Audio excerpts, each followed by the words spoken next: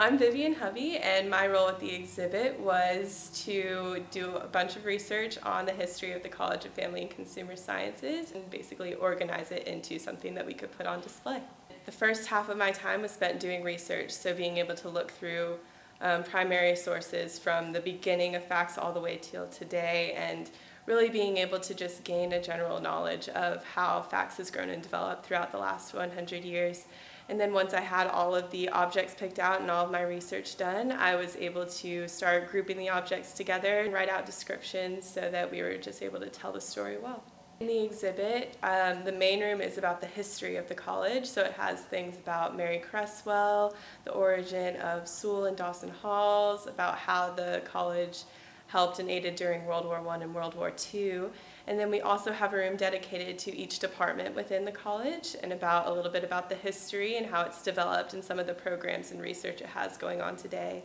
And we also do have a room dedicated to the historic textiles collection where you'll be able to look at some of the historical textiles that we have from the College of Family Consumer Sciences. I really just loved being able to learn about the outreach that FACS is able to do through the research that is done within the college, um, how FACS cooperates with Cooperative Extension to be able to really bring the things that we are discovering and learning to the community and really put that into action. And I also really enjoyed learning more about the earlier history of the College of Family and Consumer Sciences and how it opened the doors of the university to women and has really been breaking down barriers ever since. Getting to put this exhibit together was really such a privilege for me um, as a student in FACS. I just really,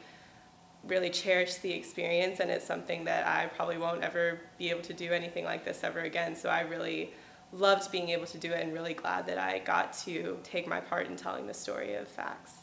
I think that this exhibit is going to be really great for anyone associated with FACS to come see. It's a great way to learn more about how the college came to be and all that it's been working for and towards for the last 100 years. So if you're a faculty, alumni, or student, you should definitely come by and see it. And it's open now through May 18th, and you can come see it any day from 8 to 5.